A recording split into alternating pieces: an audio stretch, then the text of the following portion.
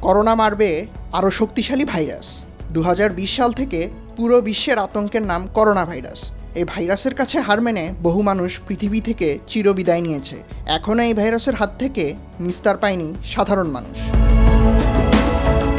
এই ভাইরাস নিয়ে এখনও বিস্তর গবেষণা চলছে।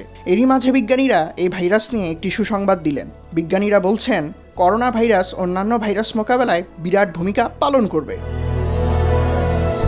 করোনা ভাইরাস একটি ফ্লু ভাইরাস। করোনা ভাইরাস সাধারণত সর্দি, হাঁচি, কাশির মাধ্যমে ছড়ায়, যা অন্যান্য সাধারণ ঠান্ডা রোগের ভাইরাসের মতোই।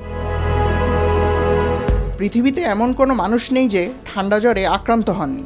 অনেক প্রাণঘাতী ফ্লু ভাইরাস পৃথিবীতে আছে, যা হয়তো এখনও শনাক্ত হয়নি।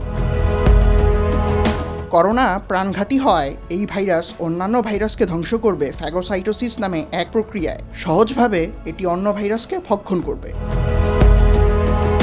করোনা পরীক্ষায় ব্যবহৃত নমুনা সংগ্রহ করার পর গবেষণার মাধ্যমে এই ব্যাপারে গবেষকরা নিশ্চিন্ত হন। করোনা সবার কাছে মৃত্যুর অন্যতম কারণ হলেও এর অন্য ভাইরাস ধ্বংসের ক্ষমতা মানুষের জন্য অনেক কল্যাণও হয়তো বয়ে আনবে।